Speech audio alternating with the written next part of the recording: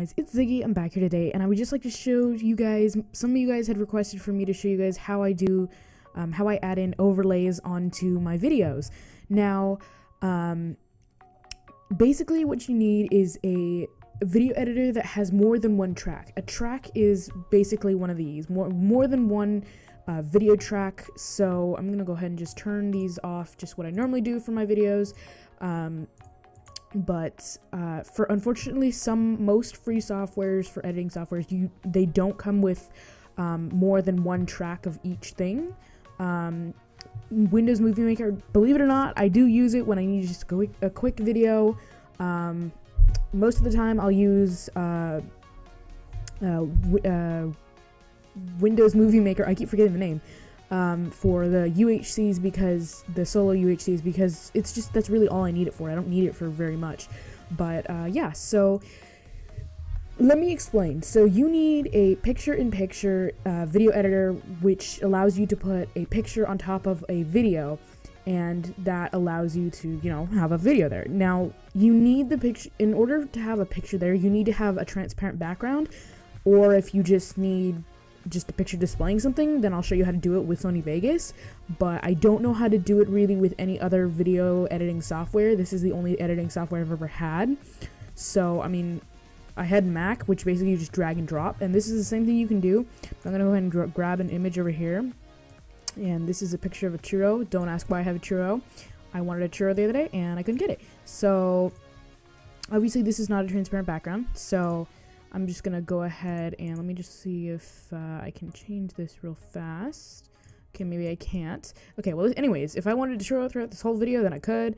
Um, I'm gonna go ahead and mute both of these clips because they're not uh, needed. So let's just say if I wanted to edit this down, then I could. I just need to let it load.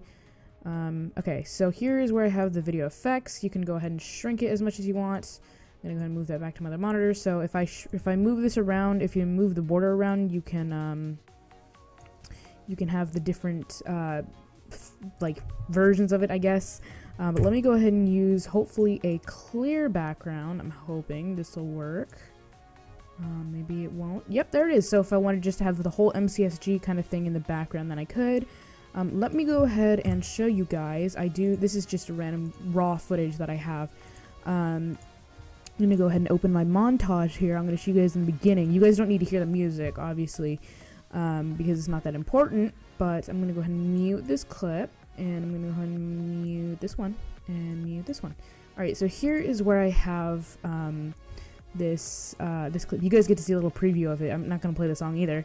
But here's the beginning clip. So if I wanted to see it slow, you can make it fade in or whatever. So it has to be um, above whatever image you have here. So um, yeah, it's kind of hard to explain. Um, that's really all I know and what I've learned. You can't do it with Windows Movie Maker. That's really all I know. Oh, I'm to go ahead and stop this clip before I go ahead and show you the rest. But yeah, so let me go ahead and just prove to you that you cannot do it in um, Windows Movie Maker. I'm going to go ahead and just grab some raw footage I have somewhere within here.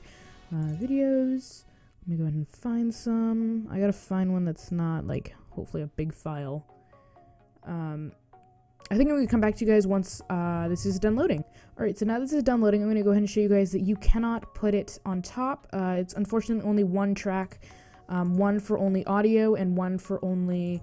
Um, one for only music and you can add music but the music sounds very bad so I suggest not using this unless you're gonna you know you need a quick video that's you don't really care about the audio quality or that much or you don't really care that it's kind of loud the music, but you unfortunately can't add in like anything else. You can only put it to the sides. It, this one kind of sucks, but you know, whatever. That's my logo, by the way, just if you guys didn't know. So uh, yeah, so basically that's just about it. Anyways, guys, I hope this did help you in a little bit. Um, you can get some of this stuff for free. Also, I use Action to record and Sony Vegas to edit for my thumbnails. I make photo. I use Photoshop and Cinema 4D. So in case any of you guys need that information, go ahead. Um, but you guys can search up how to get that stuff for free, because uh, this is not a video for that. So yeah, I'll see you guys all in the next video.